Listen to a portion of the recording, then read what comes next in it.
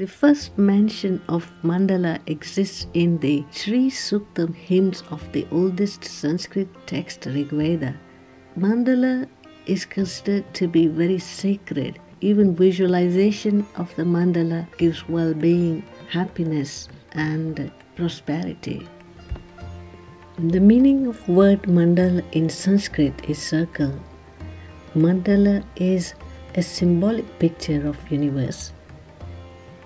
This symbol is a sacred symbol used in Hinduism, Jainism, and Buddhism. Circle represents wholeness, totality, the infinite, the timelessness, the cyclic movement. It is considered symbol of unity. Concentrating on mandala is said to remove stress and pain and ease depression. It aids in removing irritating thoughts and allow the mind to relax. Mandala is used recently as a psychotherapy by trained therapists in order to restore healthy mental balance. The process of creating these round, symmetrical images is a very beneficial form of healing and it promotes mindfulness, it promotes well being. The key to drawing mandala art is to slowly draw one shape at a time.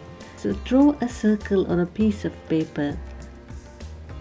And once you have divided the circle in into eight parts, you draw a smaller center circle and more circles outside and then start drawing patterns. You can add as many inner circles as you like Within each different layer of circles, you can add different shapes like petals, squares, hearts, or whatever shape that comes into your mind.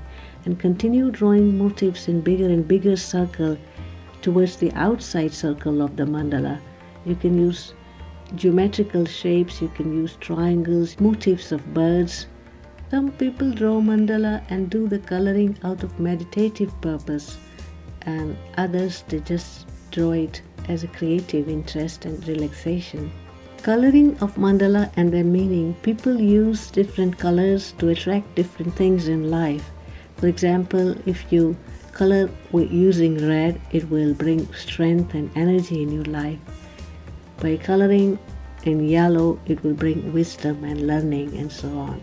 Mandal in Sanskrit means man and dal. Man is mind and da is maintaining that mind. So, here, mind is a higher field. If we break it down in David Bohm's words, then it is that ground field from which the entire universe exists. And in Sankhya philosophy, oldest Hindu philosophy, the entire cosmos originates from that field. It is cyclic in the sense everything is in that field, nothing is outside the boundaries of that field, and therefore it is circular in nature, it is cyclic in nature.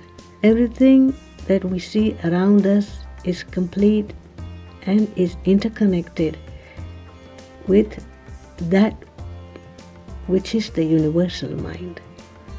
So, therefore, a mandala is so sacred within Hinduism, Jainism, and Buddhism.